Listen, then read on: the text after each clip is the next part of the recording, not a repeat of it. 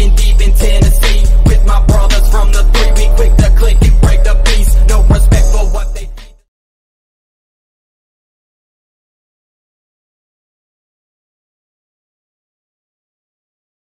The saddest day of my life was the day that my mother passed. But what really made it worse was that there had to be a funeral. A funeral meant my family was going to all be together in one room. Never good. And if no one else has anything to say about the late Miss Nancy, I'd like to have a moment of silence before we send her to her final resting place. We were almost free. It was almost over. But just when you think you're out, there's a crazy relative waiting to pull you back in.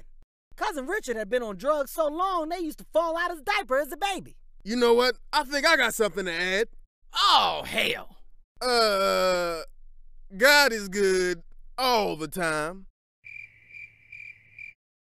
Oh, so now y'all don't know what to say to God. Niggas can cry about Nancy, but don't got shit to say to Jesus. Wake up, nigga. They talking about you. Nancy was good, but so was recovery from drugs. And if any of y'all wondering, yes, I did suck dick for crack. Swallow too. Damn sure did. What? What?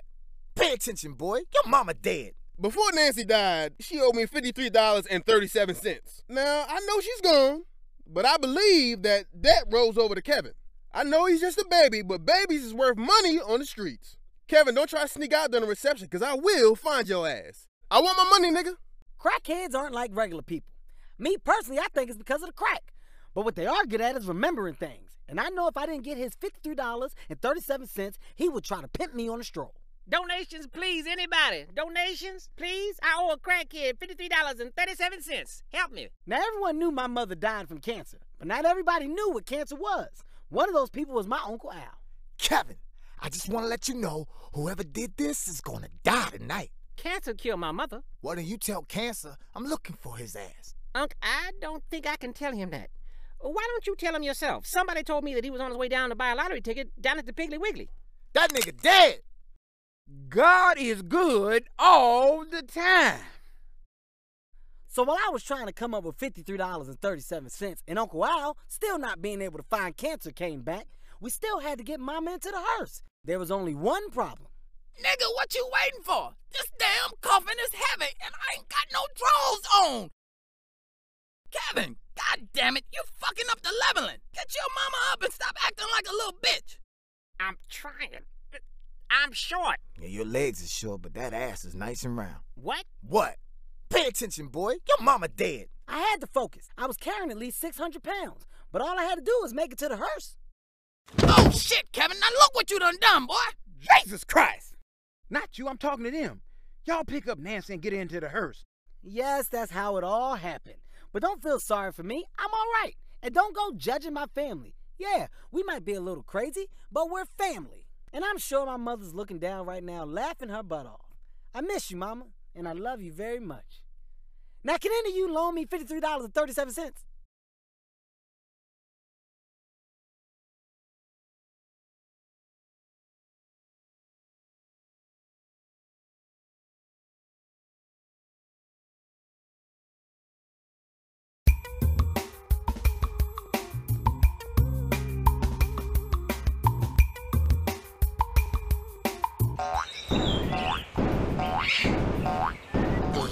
Let's play.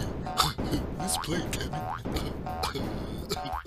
Let's play. No! Oh, why not? Because every time I play with you, I always end up in the emergency room. Now sit your big ass down and watch SpongeBob. Damn. Where's my shit, Patrick? Fuck you, SpongeBob! Chat, chat. Really? For real? For real? So you're just gonna sit there and cry on me? Really? Okay, okay. You win, you win. Just stop crying. Okay, what do you want to play? Uh, I know. Let's play restaurant. I'll be the hungry customer, and you'll be my delicious meal. Okay, wait, what? Come here, you tasty morsel. No, no, no, no. Wait! What? Why don't we play something else? Like what? How about a little game of one on one? Okay, okay. Uh, I'll be Michael Jordan, and uh, you can be Wilson. Who? Oh, Wilson. I get it. Ha ha, very funny. Now put me down. Uh, okay, three points off the kitchen wall into the pot. Uh, wait, stop. That's gay. Uh,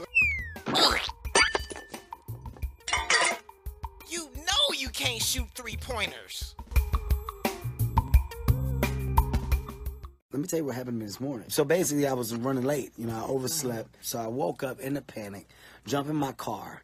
I start heading out to the studio. I get off at the wrong exit. When I get off at the exit, there's a dare. Dare's holding up a caution sign. I don't know why.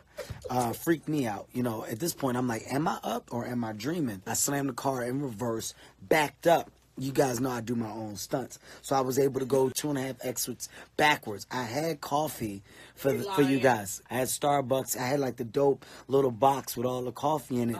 when I backed up, I'm on two wheels. I hear the noise.